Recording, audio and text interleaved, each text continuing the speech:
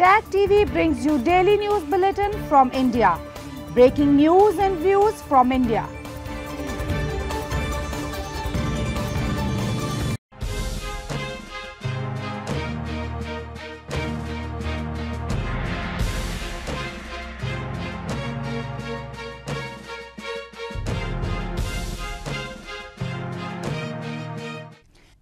Good evening. Welcome to South Asia Newsline. I'm Lepakshi Khurana here. The top stories we're tracking for you on Tuesday, the 19th of July. Protest against inflation and GST hikes stall parliament in India. Opposition demands review. Sri Lanka opposition leader Sajith Premadasa withdraws from race for president. And Pakistan PM urges poll body to announce a verdict in long-delayed PTI foreign funding case.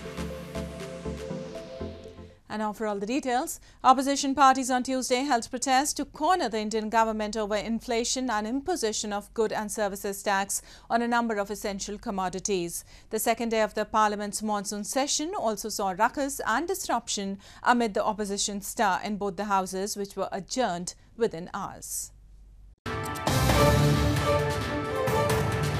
Lawmakers of opposition parties, including the Congress, on Tuesday held protests in the parliament premises over rising inflation and called for the Indian government, led by PM Narendra Modi's Bharatiya Janata Party, to review the decision to impose GST, the goods and services tax, on a number of essential commodities. The government on Monday introduced a 5% GST on pre-packaged and labeled pulses and branded and packed cereals, while LED lamps, lights and fixture will now witness a GST increase from 12 to 18 percent. Opposition leaders said they will continue to fight against this injustice until a discussion on the matter is held and the decision is reviewed.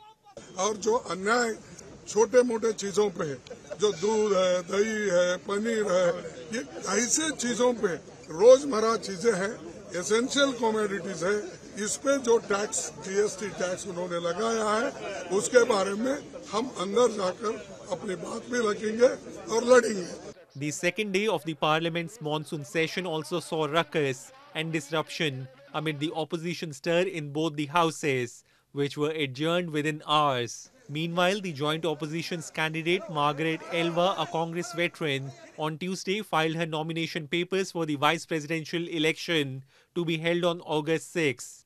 80-year-old Alva, a former governor of Rajasthan and other states, is pitted against BJP-led NDA's candidate Jagdeep Dhankhar, who filed his papers on Monday. Dhankhar resigned as governor of West Bengal state to enter the race. And Sri Lanka's main opposition leader Sajith Premadasa withdrew from the presidential race on Tuesday and promised support to a low-profile politician, Dullas Alahapperuma from the ruling party, who will take on acting President Ranil Wickremesinghe in a tight contest. The 225-seat parliament votes on Wednesday to choose the new president who will lead efforts to address the country's economic and political collapse. Sri Lankan opposition leader Sajith Premadasa announced on Tuesday he had dropped out of the race to become president of the crisis-hit nation and promised his support to rival candidate Dullas Alahapperuma set to take on acting president Ranil Wickremesinghe. Taking to Twitter, Premadasa said his main opposition Samagi Jana Balawegaya party and our alliance and our opposition partners will work hard towards making Alahapperuma the winner. The 225 seat parliament votes on Wednesday to choose the new president, who will lead efforts to address the country's economic and political collapse. The House finalized three candidates Wickremesinghe, former cabinet minister Alahapperuma, and the leader of National People's Power, Anura Kumara Dissanayake, on Tuesday. It was not immediately clear how much support the two leading candidates, 73 year old Wickremesinghe and 63 year old Dullas, had in parliament. Wickremesinghe is deeply unpopular among protesters who stormed his office and official residence earlier this month when he was Prime Minister, along with those of ousted President Gotabaya Rajapaksa. Nevertheless, Wickremesinghe is backed by a faction of the ruling party to be president. Protesters angered by months-long shortages of fuel and food and rocketing prices after the country nearly ran out of dollars for imports came out on the streets on Tuesday against Wickremesinghe's candidacy. Alahapperuma is seen as more acceptable to the protesters than Wickremesinghe. And in news from Pakistan, Pakistan's Prime Minister Shehbaz Sharif has called upon the country's election commission to announce the long-delayed verdict in the foreign funding case pertaining to irregularities in funds of ousted Premier Imran Khan's opposition PTI party. This came after PTI recorded a thumping win in the Punjab by polls, defeating Sharif's ruling PMLN party. Prime Minister Shehbaz Sharif on Tuesday called upon ECP, the Election Commission of Pakistan, to announce the long delayed judgment on the PTI foreign funding case. For long has opposition PTI party chairman Imran Khan been given a free pass despite his repeated and shameless attacks on state institutions. Impunity given to him has hurt the country, PM Shehbaz said on Twitter. The foreign funding case was filed by former PTI leader Akbar S. Babar in 2014, alleging serious financial irregularities in the PTI's funding from Pakistan and abroad. The Prime Minister's statement came after opposition PTI recorded a thumping win in the politically crucial Punjab province on Sunday, defeating Sharif's ruling PMLN party. However, despite the victory, ousted Premier Imran Khan blamed state machinery of interfering in the voting process and lambasted the Chief Election Commissioner Sikandar Sultan Raja was incompetent and dishonest and joined hands with the PMLN. इसने पूरी तरह शिरकत की नून league को जताने के लिए हम हम हम आठ हमारे पास केसेस है आठ केसेस है जो हम इलेक्शन कमीशन के पास गए और वो जायज़ केसेस लेके इनके इस, इसके पास गए इसने रिजेक्ट कर दिए। हम फिर अदालत में गए और आठ दफ़ा अदालत ने हमारे साथ खड़े होके इनको ओवर रूल किया इलेक्शन कमीशन को। Imran Khan has now demanded free and fair general election in the country blaming he was ousted in april through a conspiracy by the us and leaders of the incumbent government.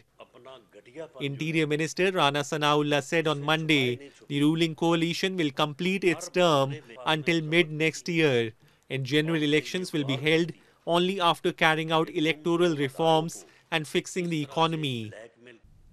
More news from Pakistan. The death toll climbed to at least 23 on Tuesday in the incident of a wedding party boat capsize in central Pakistan. The overloaded boat carrying more than 100 people was heading to a wedding across the Indus River in the district of Sadiqabad when it capsized. The passengers were mostly women and children and all those on board belonged to one clan. Prime Minister Shehbaz Sharif also expressed condolences to the families of the deceased in a message on Twitter. Nearly 35 divers from a state-run rescue service took part in operations to find survivors and around 90 persons had been rescued so far, officials said. At least 26 were still missing till the last reports came in. Such accidents are common in Pakistan where rickety wooden boats are often used to transport goods and people on rivers and lakes. Moving on, political activists of the Awami Action Committee in Gilgit-Baltistan staged a massive protest to demand the release of political prisoners detained for several years by Pakistan government. They also voiced concern over misuse of draconian laws to muzzle dissent in the illegally occupied region. Members of the Awami Action Committee in Gilgit-Baltistan recently held a protest against the arrests of political activists who have been languishing for years in Pakistani jails and want the Pakistan government to release them immediately. Protesters blamed Pakistan of misusing anti-terrorism laws in the region to muzzle reasonable voices that resist its oppression. The lamented Islamabad has illegally framed dozens and arbitrarily detained and persecuted rights activists and locals. They said hollow promises to release the prisoners keep coming from the politicians, but only at the time of elections. Activists said they'll continue the protests until their demands are met. हमें कोई उम्मीद नहीं है इन जालिम हुक्मरानों से। और जब तक हमारे असीर हम हमारे नज़रों के सामने नहीं आते हैं, उस वक्त तक हमारा धरना जारी और सारी रहेगा। क्योंकि ये बेवफा लोग हैं। इनको वफा करना नहीं आता है। वफादार तो हम हैं। इतने अरसे से, सत्तर सालों से वफा करते हुए रहे हैं। Locals and activists say that freedom of speech and other fundamental rights are foreign to them. They claim anybody who dares to raise voice against this discrimination is subjected to intimidation, arrest and imprisonment. And in news from Afghanistan, the United States will simplify the application process for Afghan special immigrant visas, with applicants only needing to file one form according to a statement issued on Monday by the Department of Homeland Security DHS. New applicants beginning this week will no longer need to file a separate petition for special immigrant status. Secretary of State Antony Blinken and DHS Secretary Alejandro Mayorkas said in a joint statement. The Afghans who assisted 20 years of US involvement in their country are looking for a special visa to live in America, expelling Homeland Security from the adjudication process. Following Taliban takeover of Kabul last August, thousands of Afghans fled the country fearing reprisals from the Islamist group. And moving on to news from Nepal, clad in saffron-coloured dresses, scores of Kavriyas, the devotees of Hindu god of destruction Lord Shiva, are flocking the famed Pashupatinath temple in Nepal to mark the holy month of Shravan. According to religious beliefs, Lord Shiva showers fortune on the devotees who visit his shrines during the holy monsoon month. Scores of devotees of Hindu god of destruction Lord Shiva called the Kavaryas are thronging Nepal's famed Pashupatinath temple to offer prayers and take a holy dip in the Bagmati river to celebrate the holy monsoon month of Shravan.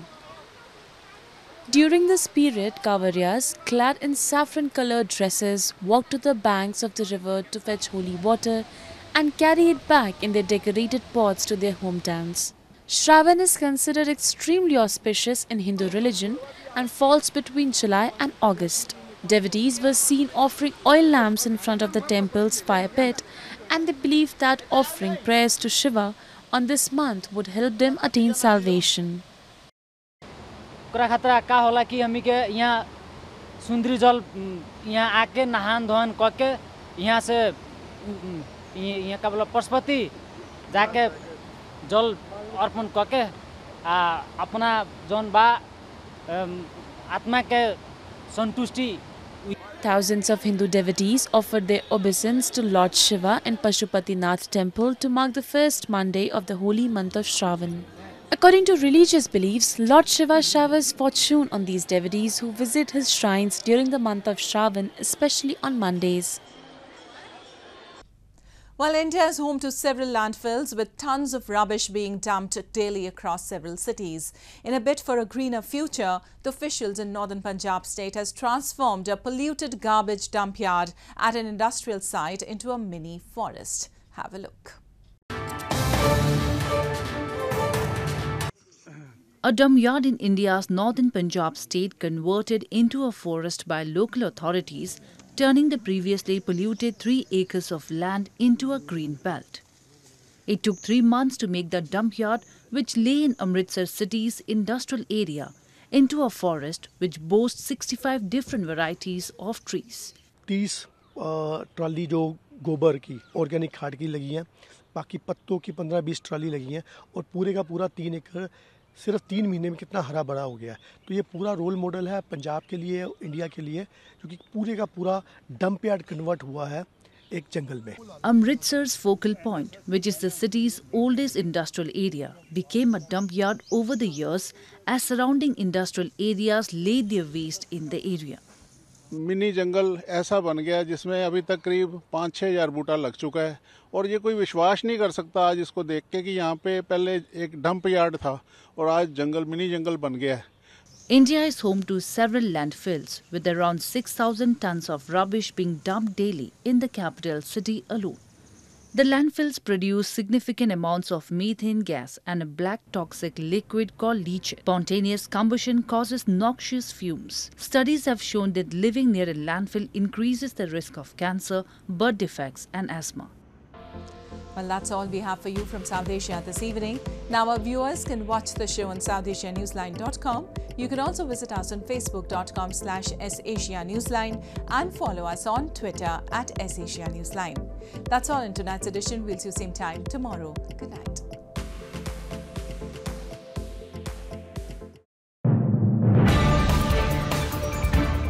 Tag TV brings you daily news bulletin from India.